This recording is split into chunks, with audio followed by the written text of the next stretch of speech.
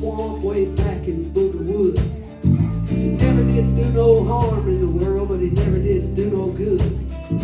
People didn't think too much of him, they all thought he acted funny. The old man didn't care about people anyway, all he cared about was his money. He stuffed it all down in mason jars and buried it all around. And on certain nights when the moon was right, he'd dig it up out of the ground. He'd pour it all out on the floor of that shack and run his fingers through it. Lucius Clay was a greedy old man, and that's all there was to it.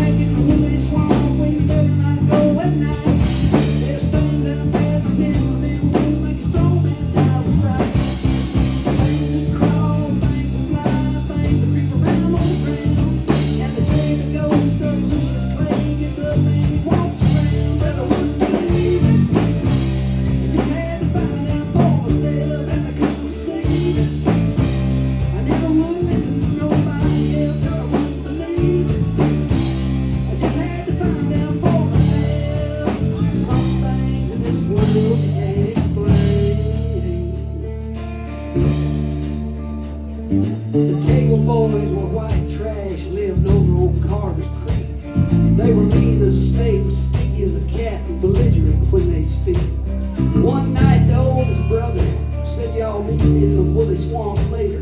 We'll take old Lucius's money and feed him to the alligators. They found the old man out in the back with a shovel in his hand. Thirteen rusty mason jars he dug up out of the sand. Then they all went crazy to beat the old man and they picked him up off the ground. Threw him in the swamp, stood there and laughed as the black water sucked him down. They turned around, went back to the shack, picked up the money and ran. They realized they were running in quicksand. They struggled and screamed, but they couldn't get away. Just before they went under, they could hear that old man laughing in a voice as loud as thunder. It's been 50 years now. If you go by there yet, there's a spot in the yard in the back of that shack where the ground is always wet. And on certain nights when the moon is right down by the dark footpath, you can hear men screaming. You can hear one old man.